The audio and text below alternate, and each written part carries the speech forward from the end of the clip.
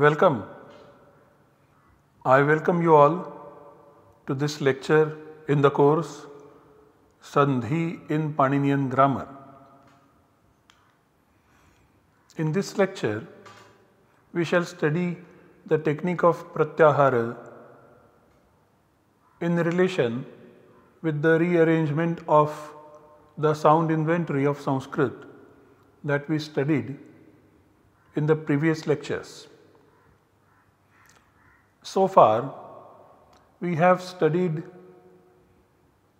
the process of speech production described in the Paninian grammar, the cognitive stage of this process, and then the stage of the external expression of it in the form of the audible speech. We also studied the features of this audible speech as described in the Paniniya Shiksha. We also then studied the purpose and the principles of arrangement of sounds in the traditional sound inventory also known as Matrika Patha. And we said that the features that we studied they form the basis of Sandhi. It is important for us to study those features in order to better understand what Sandhi is and when a Sandhi takes place and in which environment. In order to describe the Sandhi that happens in the Sanskrit language, Panini has employed the technique of Pratyahara. And in order to effectively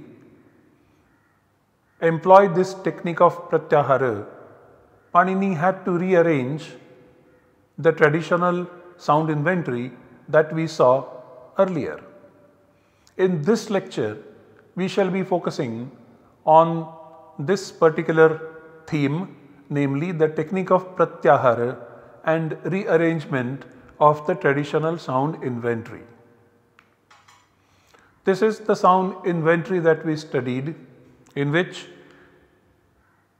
these are the vowels a, i, u, rulu, a, i, o, au.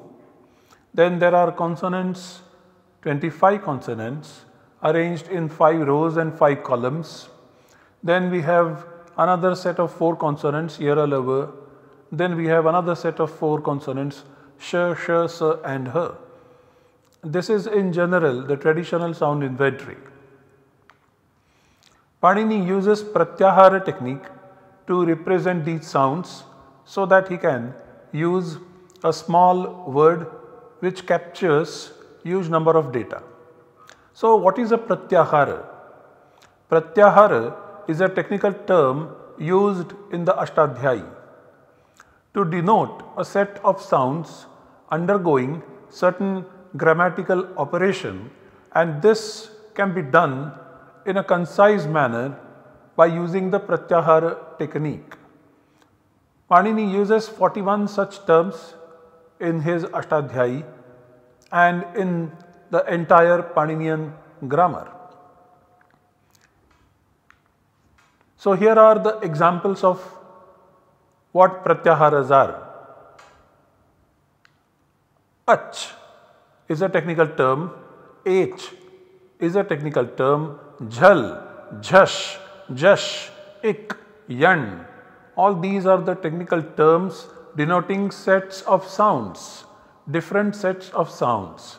This small term ach which means all vowels is capable of representing the entire set of vowels. So, Panini uses this term in order to describe the sandhi either as a substituent or as an environment, a left hand side environment or the right hand side environment. Similarly, all these other terms also. It is important for us to study how these terms get formed. So, they are formed by picking up a final sound which is termed as it and then placing it in front of us and then selecting any sound previous to it and placing it before the it and joining both together. This makes a pratyahara. This is how a pratyahara is formed by picking up a final sound which is termed it and then placing it in front of us, then selecting any sound which comes previous to it and placing it before this it and joining both together makes the pratyahara. This is how ach is formed. Ch is an it and then a comes before it maybe at some distance and then both these are joined together and the term ach gets formed. This is a pratyahara. This is how the terms are formed.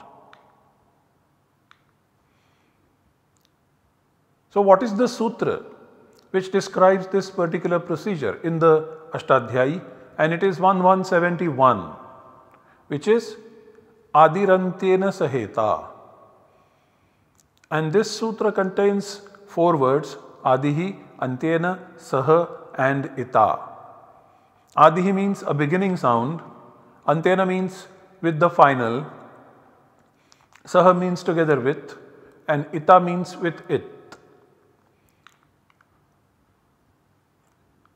What this sutra means is that together with this it, which is final, the beginning sound makes a pratyahara, makes the term pratyahara as we saw in ach, ech etc. So the next question is what is an it? And the answer is that it is a marker which has a purely metalinguistic function and it is not part of the object language. It is not used by speakers of Sanskrit. What is the meaning of it? It literally means one who goes away. So, which is there as far as metalinguistic description is concerned but when the object language element is derived, the metalinguistic element is removed. However, it is cleverly used to describe certain processes, certain formations. And that is the reason why it is primarily called one who goes away, it. So, what is an it and how is it described? This technical term it is described in the Ashtadhyayi from 132 up to 138. We will discuss only one sutra out of this section which is 133 which is relevant for us in order to study how the pratyaharas get formed. That sutra is Halantyam. The word it is continued from the previous sutra and the two words in the sutra are hal and antyam. Hal is a consonant, antyam is final. What this sutra means is that in the meta language, a final consonant is termed it. Any final consonant is termed it. What does this presuppose? The description of the technique of pratyahara Adirantyena Saheta and the term it, Halantyam. What does all this presuppose? It presupposes an existing set of sounds which we saw in the form of the traditional sound inventory but arranged in such a manner where at the end of each subset will appear a consonant. So, it is not exactly the traditional sound inventory that we saw earlier that this technique of pratyahara presupposes. It presupposes an arrangement in such a manner where at the end of each subset will appear a consonant which can be termed it, which can be then used to formulate the technical terms called pratyahara to denote the set of sounds undergoing a particular grammatical operation. This is what the technique of pratyahara presupposes. And so we see that that traditional sound inventory that we saw earlier gets rearranged in this particular way. These are the 14 sutras in which all that we saw earlier is rearranged. And I will read these 14 sutras for you all. They are Ayun, Ruluk, Eong, Ayouch, Hayavarat, Lan, Yamangananam, Jhabhai, Ghadadash, Khapachatata Chatatau, Kapai, Shakshasar, Hal. These are those 14 sutras. These are called Pratyahara Sutras. Why? Because these are used to form the technique of Pratyaharas. These are also called as Varna Sutra because they enumerate the basic sound. The other name is Chaturdasha Sutra, the 14 sutras. They are also called Shiva Sutras as these are considered to have been conceived from the inspiration of God Shiva. And we have a very famous verse described in the Nandikeshwara Kashika which says Nrittavasane Natarajarajo Nanada ननादढक्का नवपंचवारम उद्धर्तुकाम सनकादि सिद्धांत एत विमर्शे शिवसूत्र जालम the word Shivasutra appears in this verse then similarly these fourteen sutra are also called Maheshwar sutra or Maheshwar sutra as these were conceived from the inspiration of God Shiva also known as Maheshwar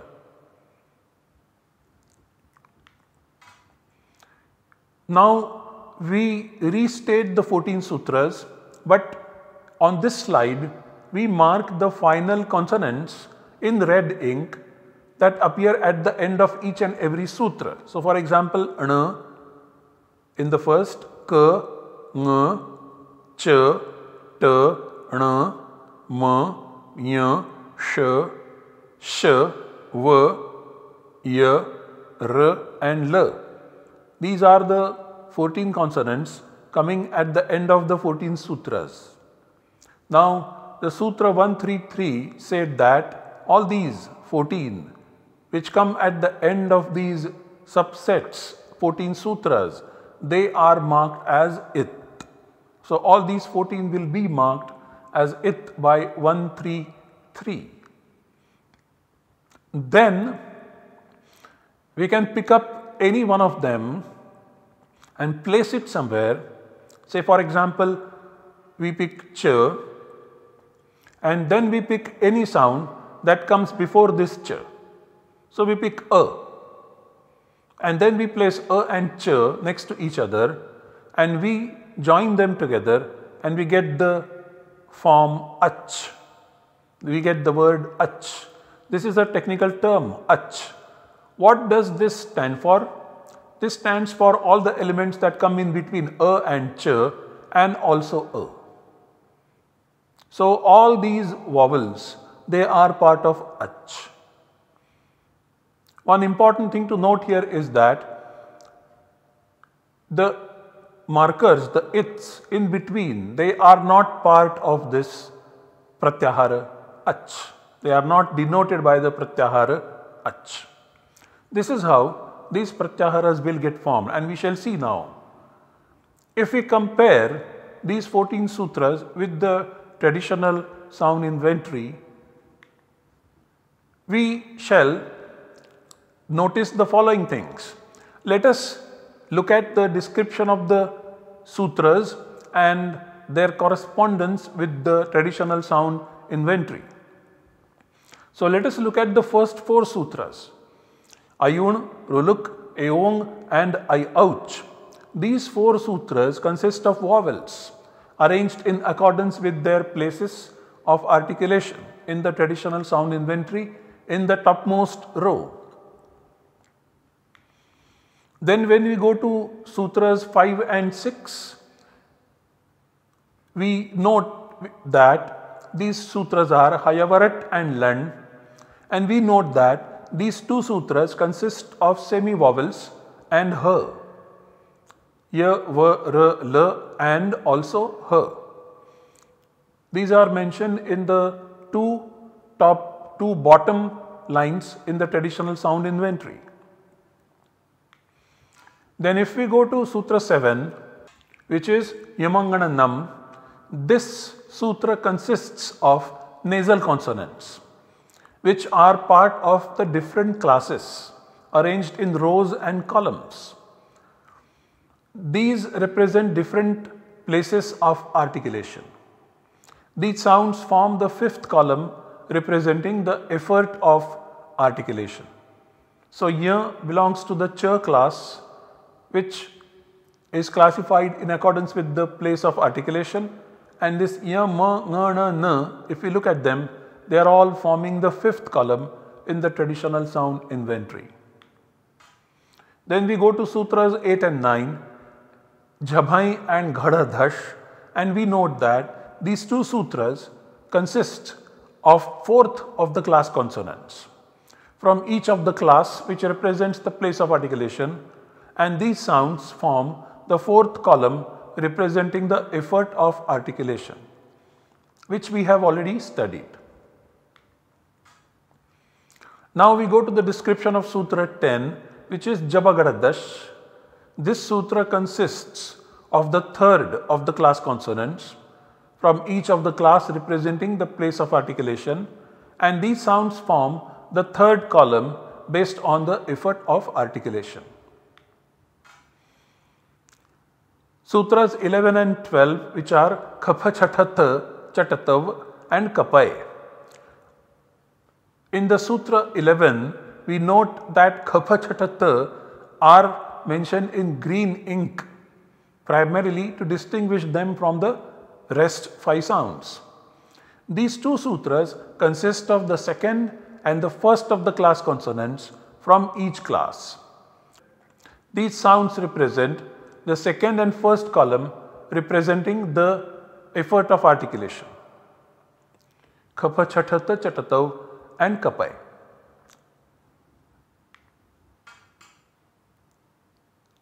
Then if we go to sutras 13 and 14, Shashasar and Hal, we note that these two sutras consist of the sibilant sounds Shashasa and Ha. So this is how the 14 sutras can be described in correspondence with the traditional sound inventory.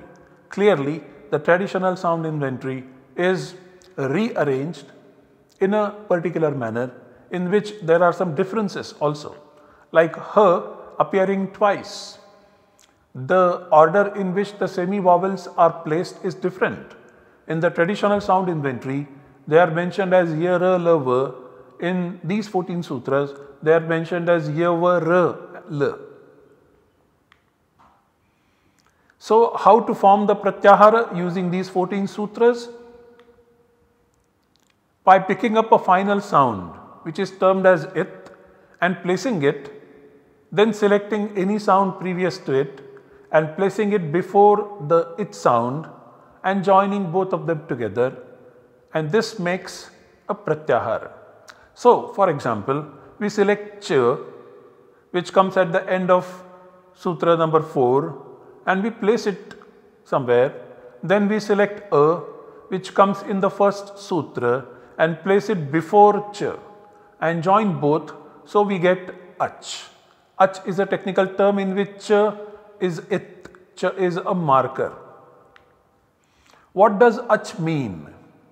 It means one, all the sounds that come in between a and ch as well as a. This is in accordance with 1171 that we studied in this lecture earlier. It is important to note that this list of sounds does not include the markers or it sounds that come at the end of the first, second and third sutra. This is not explicitly stated anywhere in the Ashtadhyayi, but this is what is understood in the system and is stated by the later commentators who have commented on the text of Ashtadhyayi, which is generally known as the later Paninian grammatical tradition. So, Ach stands for A, I, U, Ru, Lu, A, O, I and Au, which means all vowels put together. How will it be used?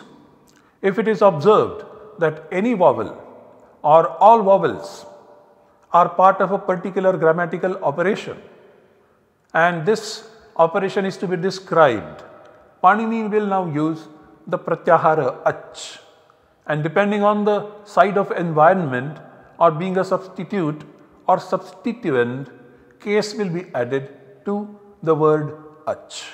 This is how ach will be used in the description of a particular process, grammatical operation.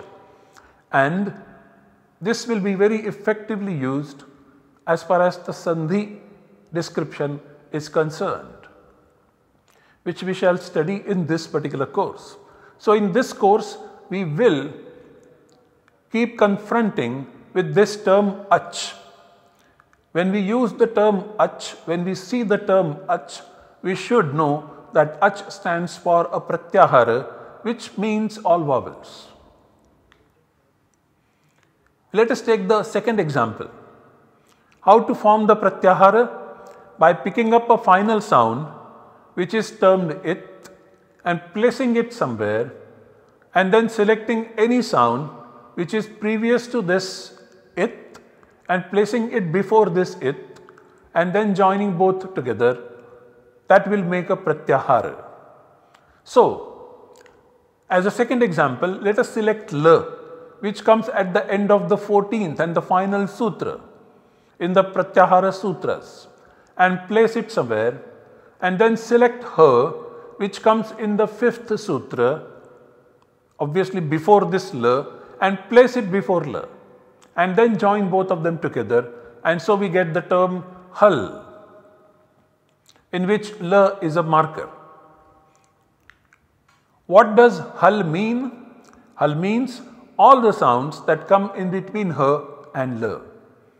They are called hal. This is in accordance with 1171 Adirantyena Saheta.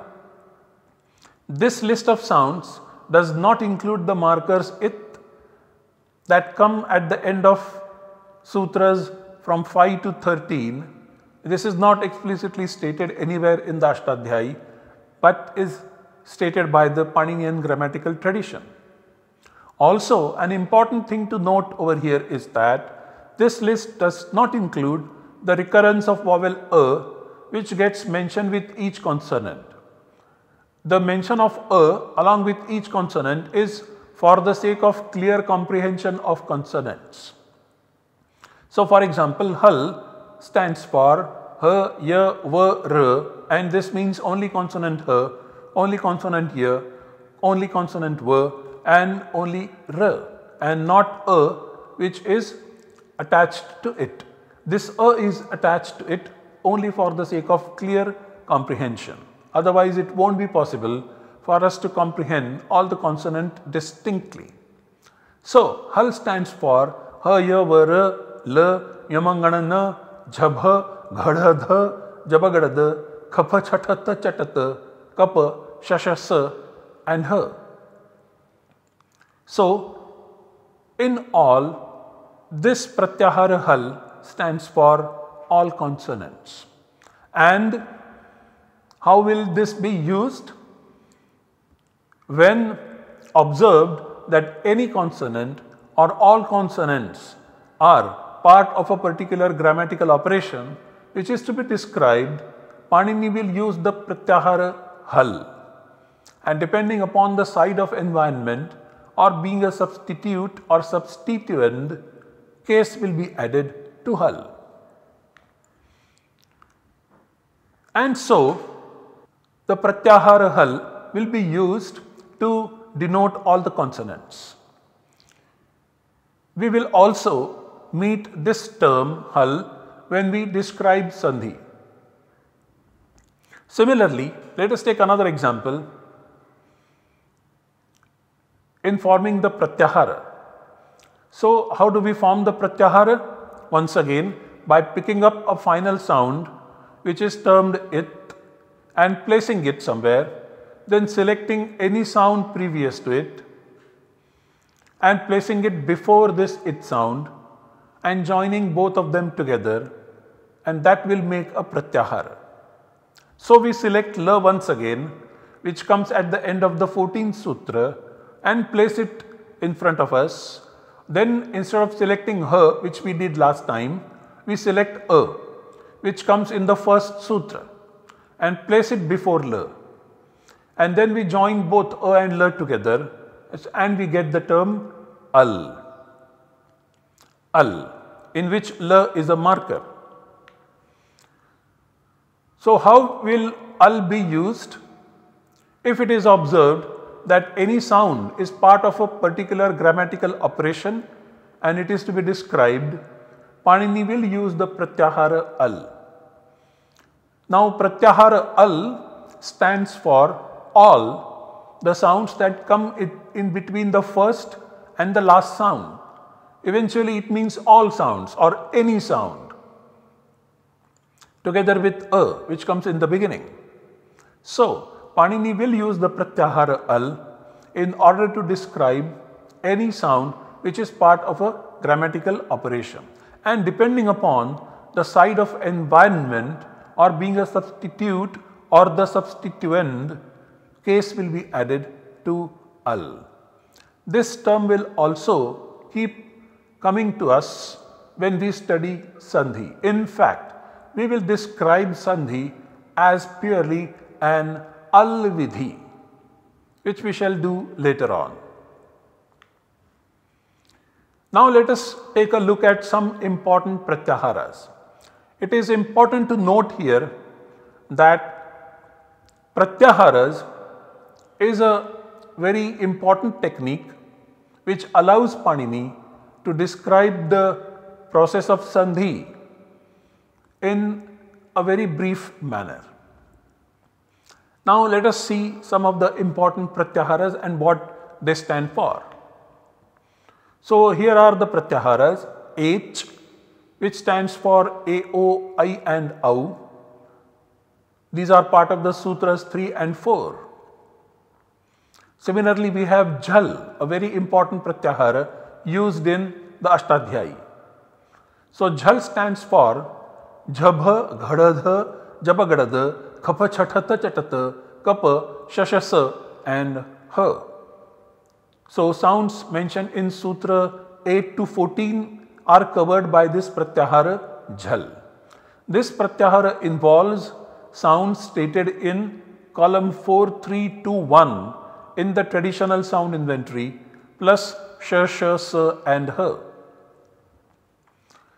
then we have jhash with Jabha Ghadadha Japagadadha, part of it. These are mentioned in Sutras 8 and 9 in the Pratyahara Sutras and they correspond with columns 4 and 3 in the traditional sound inventory. Then we have the Pratyahara Jash which covers the sounds Japagadadha. They are mentioned in Sutra 9 in the Pratyahara Sutra and this corresponds with column 3 of the traditional sound inventory. Then we have a very important Pratyahara An which stands for A, E and U only. There is only one instance in 1169 where it stands for all vowels plus all semi vowels plus her.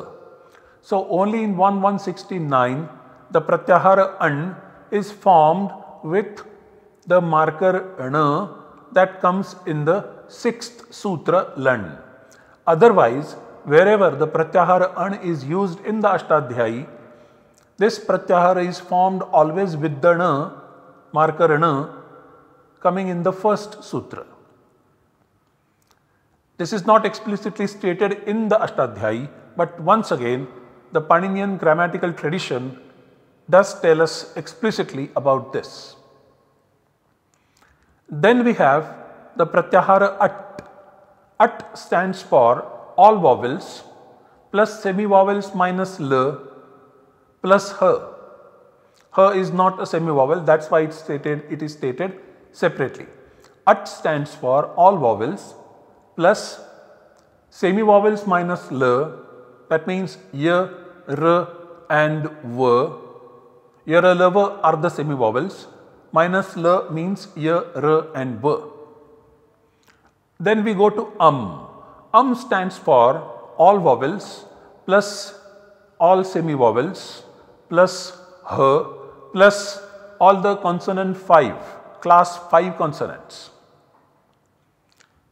Yamangana Then we go to the Pratyahara Ash which stands for all vowels plus all the semi-vowels plus H plus consonants 5, 4 and 3 in the traditional sound inventory.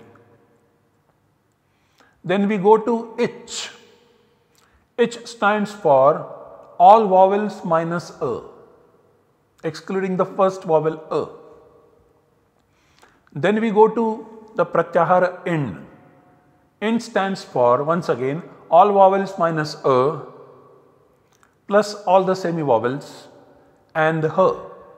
This pratyahara in is always formed with the marker na which appears in the sixth sutra and never with the marker na in the first sutra. Once again this is explicitly stated by the Paninian grammatical tradition. Then we have hush which stands for all semi vowels plus her plus consonants 5, 4 and 3. So, hush can be also described in terms of ash minus ach. Then we have yar which denotes all consonants minus her. Similarly, yai denotes all consonants minus sh, sh, s and her. Then we have yum which denotes semi-vowels plus column 5 of the consonants in the traditional sound inventory, all the nasals. Then we have val. Val stands for all consonants minus y. Then we have ral which stands for all consonants minus y and v. Then we have jhar having class consonants 4, 3, 2 and 1 plus sh, sh and s. Then we have Jai having class consonants 4, 3, 2 and 1. Then we have Jash only class only column 4 of the class consonants. Then we have khar having columns 2 and 1 plus sh, sh and s. Then we have khai columns 2 and 1. Then we have char column 1 plus sh, sh and s. Then we have shar with only sh, sh and s and finally shall with sh, sh, s and her. While describing the contents of these pratyaharas, we have to the notation of the sounds that are found in the Pratyahara Sutras. What we mean is that although the consonants are not shown as consonants, like this l or r etc. These consonants are shown together with the vowel with an understanding that this vowel is there only for the sake of pronunciation clear comprehension. This does match with the way in which the sounds are mentioned in the Pratyahara Sutras. So, please be very sure about this. This is how the Pratyaharas are used and these Pratyaharas allow Panini to describe any operation with respect to these sounds in as brief a manner as possible. To summarize, use of pratyaharas enables the Paninian grammar to refer to the set of sounds in as brief a manner as possible.